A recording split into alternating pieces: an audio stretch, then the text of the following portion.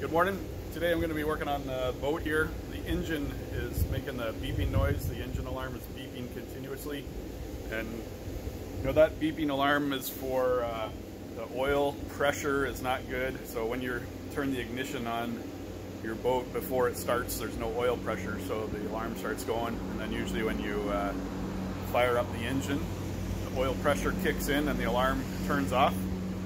Uh, but it's also there for high temperature. There's temperature sensor on the uh, thermostat housing, which uh, also triggers the alarm. So if your boat overheats, then uh, the alarm should start beeping at you to give you a warning. Last time I was out, my boat was beeping continuously, and uh, so we were concerned about the temperature. We came in, I came home and uh, let the boat cool down, and actually the gauge, you know, the temperature gauge was showing normal. So that was uh, another indicator that there might be something wrong with the temperature sensor. Anyways, I got home and let the boat cool down and the, the alarm was going as soon as I started up the engine when it was cold. So that uh, suggested that maybe there's a problem with the sensor. Anyways, we're gonna test that today and uh, if that turns out to be the case, we'll replace the sensor and see if the problem goes away. All right, so here we have the schematic, the wiring diagram for the 4.3 liter engine. It's a GL engine dash B, I think. Anyways, uh, here's the uh, this orangish peach colored wire here is the circuit for the alarm. And the first sensor here is that uh, temperature sensor that's in the thermostat housing. The second sensor here is the oil pressure sensor. And then these two sensors are the exhaust manifold temperature sensors. So you can see all four of those sensors are just in uh, parallel. So any one of those sensors going to ground activates the beeping alarm. Over here, item number 21, this is on a separate circuit. This is the temperature gauge sender. So this uh, gives you the reading on your dashboard between, uh, I can't remember, 120 to 180 degrees Fahrenheit. That's the temperature gauge sender unit.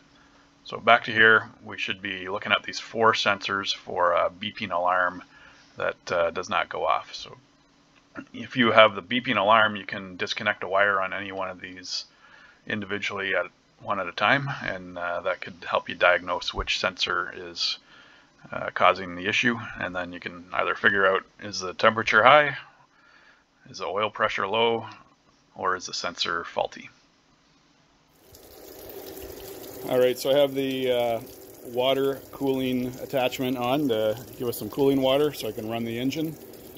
And I've removed the cover for the engine so I can get better access to some of the sensors that we need to take a look at.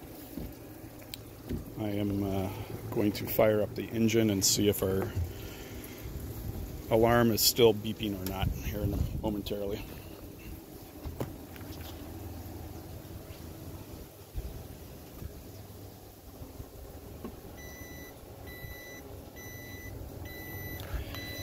Yeah, before I get the engine going here, so there's uh, this alarm is kind of back here. If you cover up this black cylindrical thing, you can hear the tone change. That's the alarm. We have a few temperature sensors. This is the one that's suspect right down here.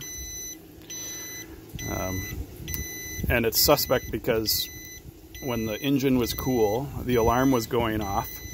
And then when I was diagnosing after being out on the lake, I took that wire off and fired up the engine and the alarm was not going. And then I put it back on and the alarm was going. So kind of a on, off, on test. There's this uh, temperature sensor. There's a couple up here, one on the uh, exhaust manifold on each side. Could be those. I'm not sure if there's any other ones. I don't see any other ones. Now, interesting though, the gauge, the temperature gauge in the cluster, there's a sensor. It's really, really hard to see. But it's underneath these hoses. You can kind of see the wire.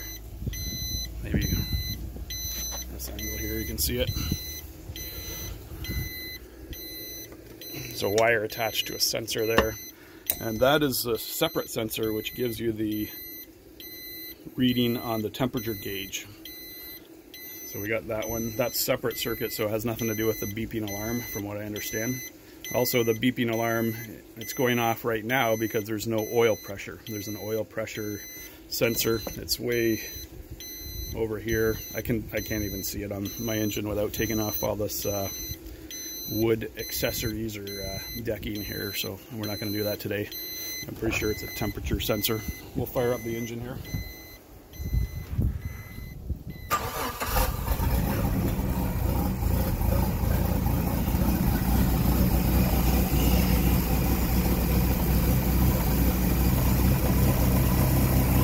Right, I don't hear the alarm going anymore.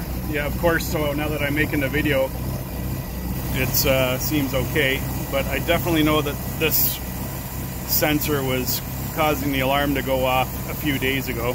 And it was kind of flaky, like it wasn't really loud. So, um, you know, I'm not sure exactly what's going on inside that sensor, but on my diagnosis before, it was definitely that sensor.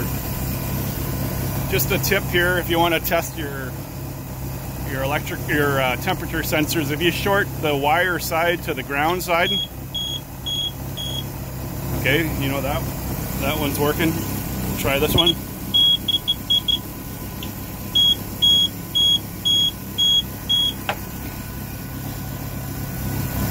This other one here, I need to expose the terminal a little bit, so I'll do that with the engine off so I don't cut my finger off.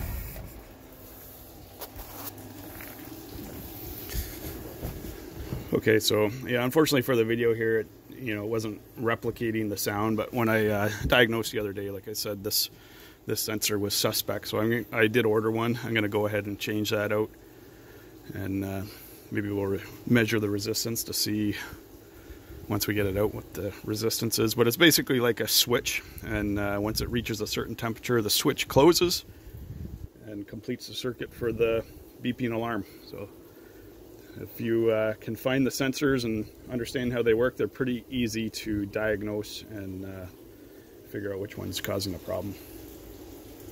All right, I'll go ahead and change that.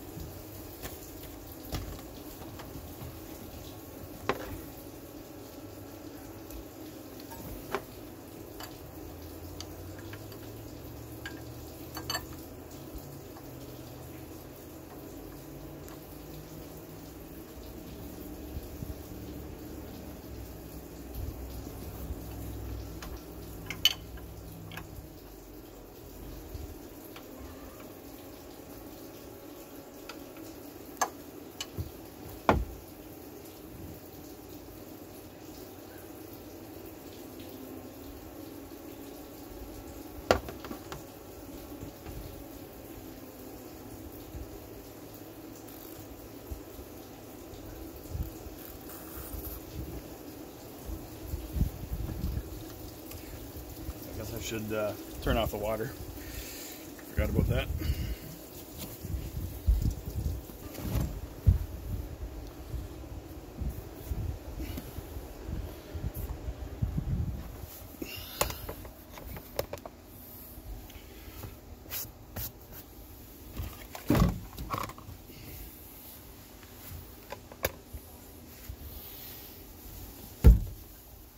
Okay, so this is our old sensor. I had cleaned it up a little bit earlier I was testing it. Now, if you look for the Volvo part number, the sensor is about 100 bucks. from Volvo.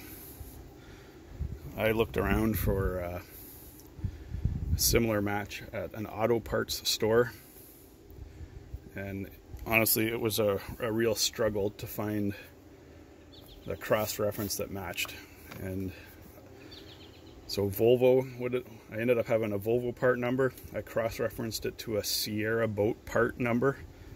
The Sierra boat part number was still around hundred bucks. Um, cross-referencing it further on auto store websites and sensor manufacturers websites, I found that there is uh, a new Sierra part number which replaced an old Sierra part number the new Sierra part number I was able to cross-reference to this TS25101 and uh, this sensor was 30 bucks delivered through Amazon roughly.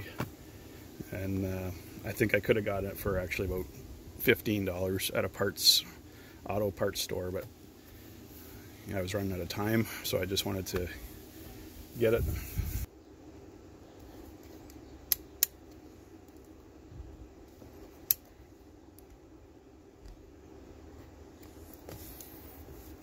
well, they're both open when it's cold, so I guess that does make sense.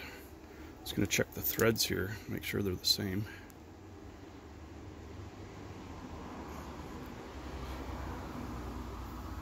They're the same.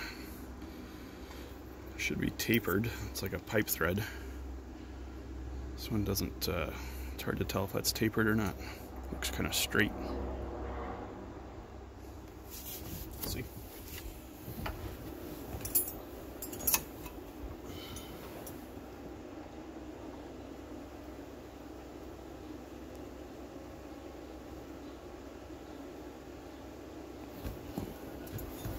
The thread feels good.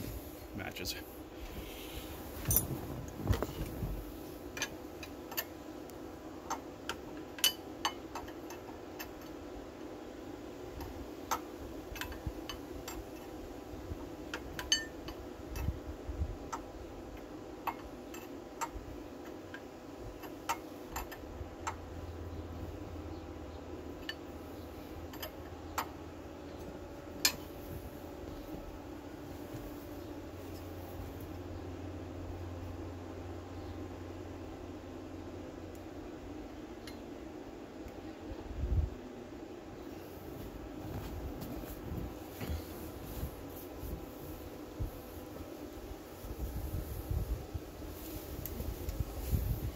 Turn on the water.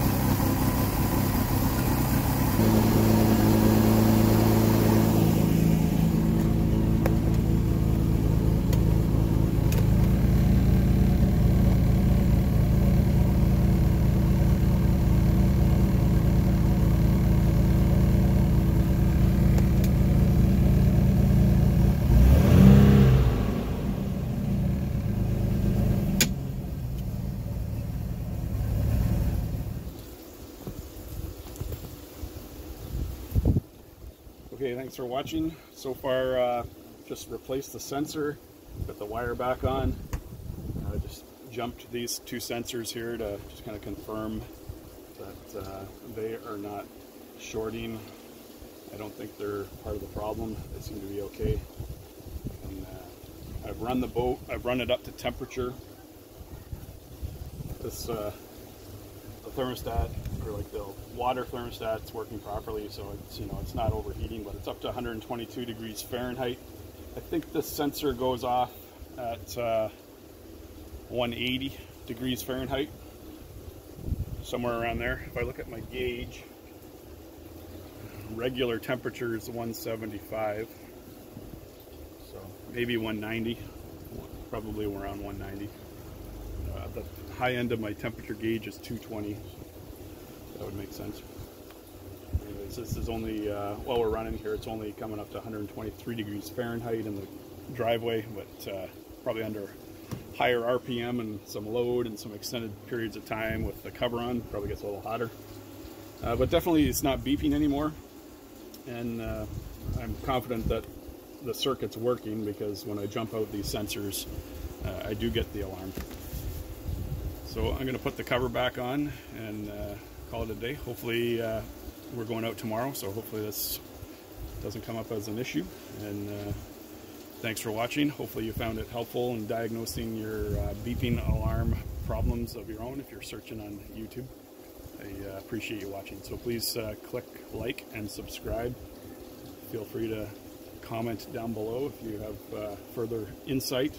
I am not a mechanic, uh, just a weekend warrior mechanic here. So uh, I enjoy troubleshooting and trying to figure out these uh, problems and seeing if I can fix them on my own. So anyways, again, thanks for watching. Have a great day.